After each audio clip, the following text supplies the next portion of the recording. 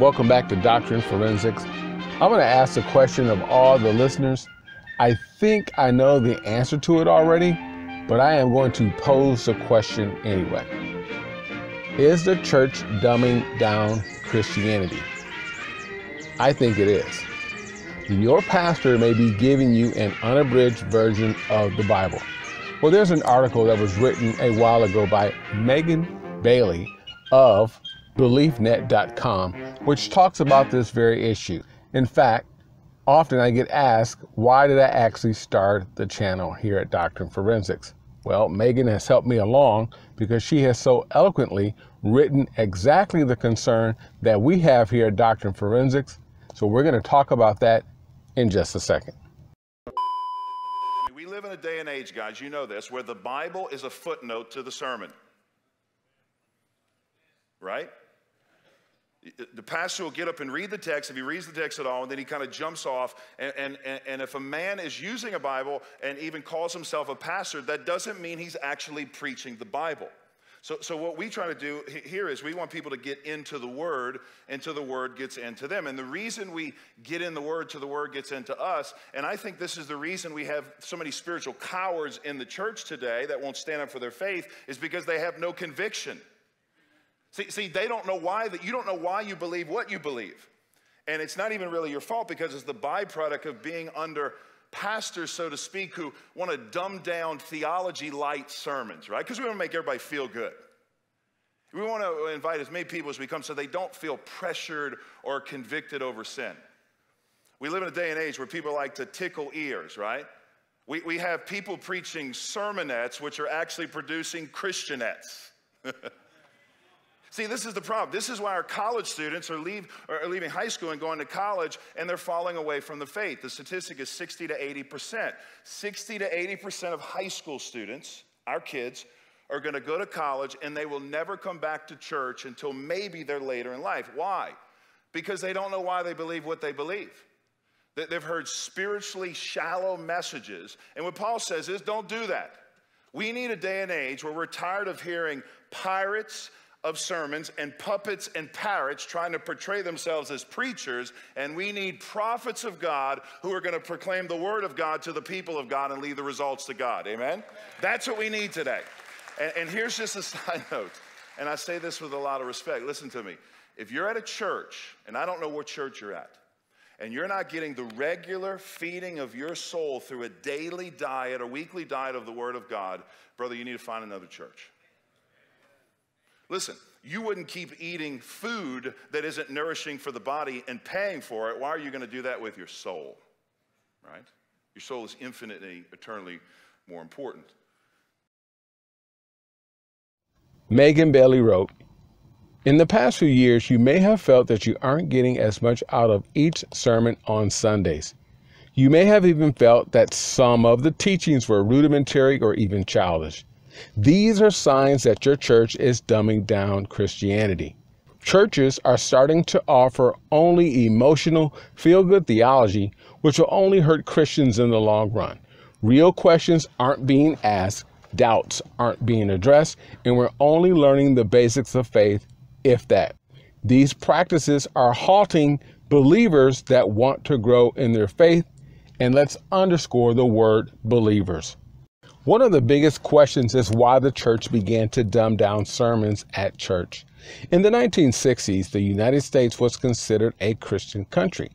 However, today, less than 65% of Americans claim to be a member of a church congregation, and I'm sure they do so with good reason. Our world has changed drastically in the last few decades, and the church has obfuscated and left its first love. The traditions of the church begin to change to adhere to a generation of people that missed out on going to church. Many hadn't gone into a church building for anything more than a funeral or a wedding. Organized religion lost on many followers, but the generation was still interested in spirituality. And yes, they are interested in spirituality because we have things such as Buddhism and Hinduism and New Age and Wiccan and so on and so forth. The church realized that it had to come up with a new way to minister. I will certainly credit Satan into introducing this watered down platform of what we're hearing in today's churches. They began to dumb down their sermons, going back to the very basics of Christianity in order to make it more relevant for this growing group. There is a massive problem of dumbing down the Word of God. Now, due to these changes in the church, we have replaced rich theology with emotional music and reminders that God loves everyone. Now, this is great for bringing in the outsiders through the doors. However, it is poor at growing believers into mature witnesses with a deep understanding of God, as we find written so well in the book of Ephesians, chapter 4. If you ask most Christians today any theological question about the Bible, you are bound to get a response that suggests such discussions are only meant for a pastor or church leadership. It has now become accepted that there isn't much else you need to know except that God loves you. Now, if you dive deeper, though, the opposite will begin to be true. The more that you learn about God, His Word, and the theology of the Bible, the more you can love. You are given that much more to adore and be amazed by. Christians have become complacent about their faith. They don't bother to learn anymore because the church isn't giving them any avenues to seek knowledge like it used to. It's one thing to not know much about the faith, but another to have no desire to grow. Nowadays, anyone can start a church as long as it's engaging and entertaining enough, people show up. The church used to be a place where believers could come to learn robust doctrine and theology. Just as a marriage cannot be sustained by the tumble of infatuation, a life of faith cannot be sustained by passionate emotion. Yes, it may be a wonderful and necessary entryway, but without depth and knowledge and understanding, it will be blown here and there by every wind of teaching and by every cunning and craftiness of people in their deceitful scheming. Ephesians 4 14. Another red flag is that there's only focus on the church and not faith. Another huge issue with the dumbing down of Christianity is church members putting focus on their pastors, church leadership, and the church itself over faith in God.